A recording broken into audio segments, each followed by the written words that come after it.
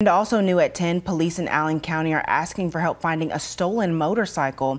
The sheriff's office says this motorcycle on your screen was stolen from a home on South Oak Forest Church Road earlier today.